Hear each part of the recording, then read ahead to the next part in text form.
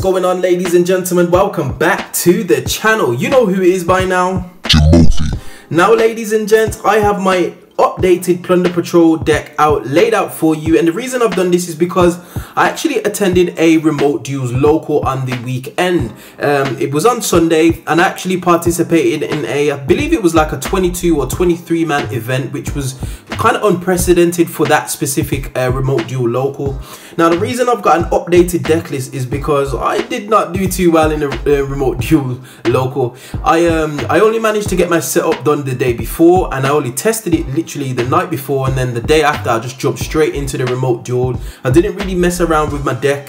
Um, there were a few cards here that you can see in front of you that I didn't have my have in my deck at the time and uh, I just kind of went into it blind just kind of seeing what the remote duel was like and it was more to test the setup but then obviously to participate in an event which was really interesting. So what I thought I would do is just go through the event ladies and gents and just kind of let you guys know how I got on. So it was a five round um, tournament um, before top before it cut to top cut basically. Um, and round one game one I played against Zoo Eldlich. Uh, I struggled. I went second I lost the die roll and I didn't have the correct attributes to go into the monster that I wanted to. And on top of that he managed to put up a double A Zeus backed up with a load of trap cards in the back row and that deck is really scary by the way. Um, game two in the same match um, I actually went first. I had, an, I had a decent setup, but I did not ash the Fire Formation Tenki, mainly because I thought it was a bit of a bluff, so I let the Tenki go through. Um, he managed to combo off and then end up on the Zeus again, which I could do nothing about, um, along with a few um, break break your board style going second cards. Um, to be honest, when I spoke to him after the game had finished, he said to me, if he'd ashed the Tenki, I would have lost that game, and it was just, it was literally that. So that was on my bad. Um, round two, I managed to get a buy. Uh, round three, I drew in time against Shaddoll in game one. Uh, I managed to get Dragite out and just basically just just dwindled him out of resources. Game two, he managed to go first and he just set up Winda basically and I just couldn't play through the Winda. Um, every time I outed it, he just recovered with Shaddoll Schism and he just kept playing and sending my cards to the graveyard, which was a little bit frustrating and we just ran out of time. It was a very, very grindy game. I probably could have conceded and then just went first, but um, I just let the game play out just to basically make sure my setup was um, rife and I'll go through some of the pros and cons with remote dueling um, in a moment. So game uh, round three, sorry, round four, I lost the die roll against um, Virtual World. I got VFD. There was say no more about that. VFD AE because of auto winning that that that deck. It was crazy. Um, game two, I went first, but opened zero plunders. I had a couple of hand traps um, but in, Virtual World can easily play through a couple of disruptions. It's not even a problem, depending on what disruptions there are. Um, so I played through a couple of hand traps and it ended on a VFD after doing a bit of damage. Uh, and that was li literally the game, ladies and gents. And then game round five, I played against Virtual World again.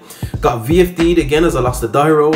Um, game one and then game two, ended up clearing my board, loads of back and forth. And then by the time we got to the end of that game two, it was time anyway and he'd already run the first round. So that was my basic report. So just from what I did with regards to the, the, the remote duel locals, it was a lot of fun. I will say it was a very, very long day.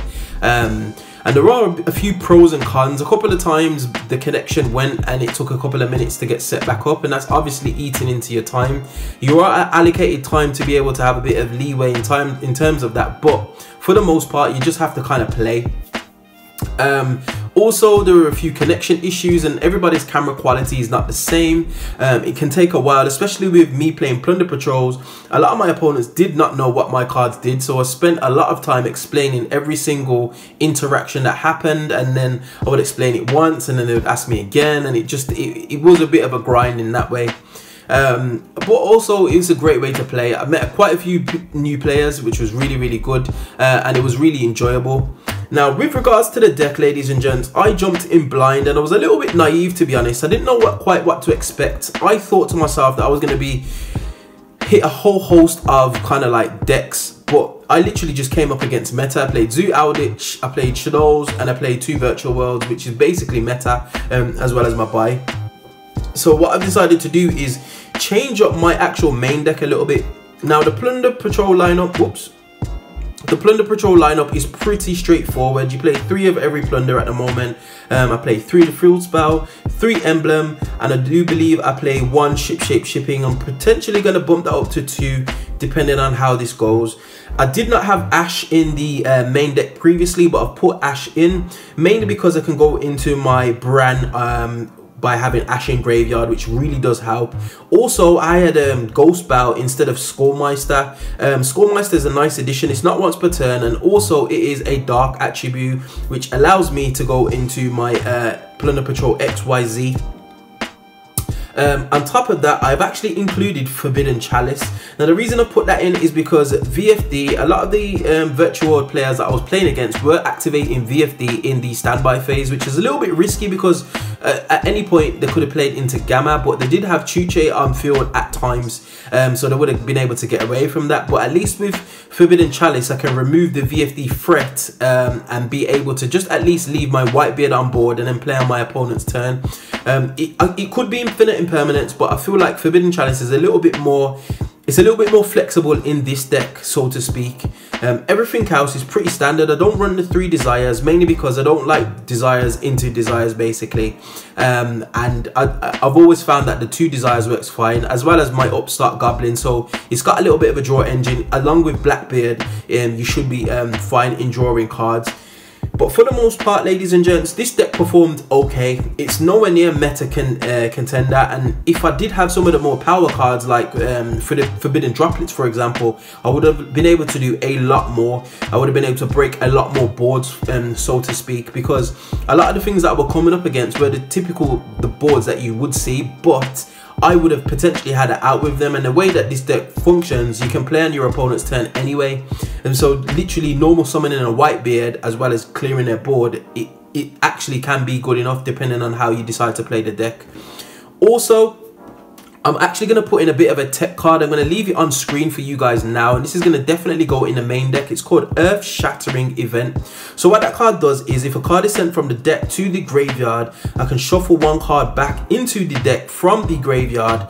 And for, for the rest of the turn, um, effects are turned off in the graveyard basically. Uh, it's, it's, it's a crazy card and especially with this deck because the plunder patroll extra deck monsters don't actually get summoned correctly you can't then summon them from the graveyard once they end up in there. So being able to shuffle back one of your own monsters whilst also preventing your opponent from playing is just absolutely fantastic and the earth shattering event is a um, is a uh, sorry is a continuous spell so it, it does really, really help. Um, sorry, let me just read the card, the card uh, text correctly. So if this card is sent from, if a card is sent from the deck to the graveyard, target one card in either player's graveyard, shuffle it into the deck. Also, neither player can send cards from the deck to the graveyard for the rest of the turn. Now, with regards to that virtual world, it would just literally cripple them. They would have to pop it with their Chuche if they manage to get Chuche established early. But if you if you manage to do this correctly, you can actually shut down their turn, um, which is really really interesting because virtual world like to send a lot of cards as cost uh, and it's a nice matchup. And the way that things are looking, if I do enter the tournament again, I am definitely going to be coming up against some more virtual worlds. So um, it is what it is. So what I'm going to do, ladies and gents, I'm just going to quickly um, show you my extra deck. It hasn't really changed for the most part. Um, and then I'm just going to open my OTS pack that I got for you guys. So just give me a moment. Okay, ladies and gents, so this is the extra deck. Now, for the most part, the extra deck is pretty solid. There's probably a few additions or things that I would take out, most notably uh, Geomathmech Final Sigma. Um, and the reason why I'm going to take him out, I haven't actually decided what I'm going to put in next. Uh, but Geomathmech Final Sigma, in uh, after testing, is kind of turning into a win more card.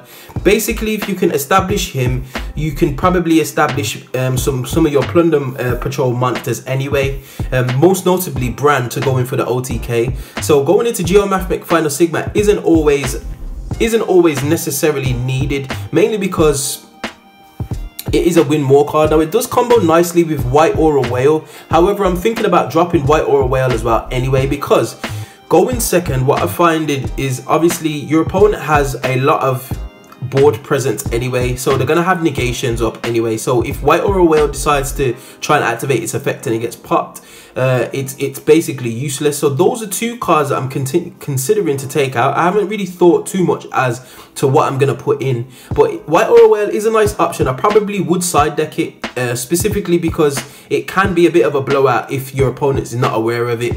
For the rest, they're pretty standard, they're pretty solid. Abyss Dweller is really good in this format. Um, it's basically just, especially in Plunder Patrolls where it gets the uh, the attack and defense boost, because normally um, somebody would just normal summon a monster big enough to just beat over Abyss Dweller and then carry on about their day. But with it being the boost from being made with two water monsters, it can be a bit of a problem, especially with cards like Virtual World running around and um, Eldritch, for example. Dweller just shuts that down. So definitely inclusion that I'm going to be keeping in this deck. Um, everything else is pretty standard though. I have thought about upping the number of lists and I've thought about upping the number of um, Blackbeard. But with the earth shattering event underway, I should be able to shuffle one of these back in to be able to continuously loop them. And I didn't go for it, ladies and gents, but I have got a bit of a side deck which I'm still testing at the moment. Um, it does contain Effect Veiler to be able to effectively go into lists without having to depend on my opponent. And I do control, I do have a um, I do have some Droll Lockbird just to shut down the virtual world deck um, as quickly as possible. But what I what I've found playing this deck, ladies and gents, it is by no means the finished article, and we know this because we're getting more support, but mainly because the correct attributes aren't all there for you to summon and utilize. So when I played against Zoo Eldritch, for example, I couldn't go into any of my extra deck monsters because they just had all Earths on field, and it was just had a Lotus trap card. So I was literally stuck by summoning Blackbeard and just hoping that I drawed into one of my hand traps to be able to use it and then have that in graveyard to then go into one of my other extra deck uh, Plunder Patroll monsters and by then I've probably lost the game. But in saying that, Dragite is definitely something that you want to establish really early. Uh, he is a bit of a problem against the Shaddoll player. Um, when I uh, beat him game one, literally Dragite just beat him down and just negated every critical play that he wanted to do. So very, very powerful card. Definitely inclusion that I won't be taking out of this deck. Um, but for the most part, the rest is pretty standard. Just White Aura Whale and Geomathmech Final Sigma, which are a bit of an issue to be honest. And sometimes you do get locked into Plunder Patrolls anyway, so you can't necessarily summon them. So we'll see. But anyway, ladies and gents, just before we finish, I do have a tournament pack 14. Fingers crossed for some, oh, let me turn that around for you guys. Fingers crossed for some great pulls. May the pool gods be with me. Okay, boy oh boy. Ugh. We have an Infernity General. Ugh. A Atlantean Dragoons, and then finally a cattle call. Not the best. OTS 14 not coming in clutch. Infernity General is decent. I'll probably throw that into uh, my Infernity core that I've got hanging around somewhere. But it is what it is. So ladies and gents, we find ourselves at the end of another video. Definitely we'll be engaging in some more remote duels for you guys and I potentially might even film some of my games depending on how I get on. But like I said, if you do enjoy this content, you know what to do by now. Hit that like button, share, subscribe, all of that good stuff. And I will definitely, definitely see you guys on the next video. Hope you enjoyed. Peace.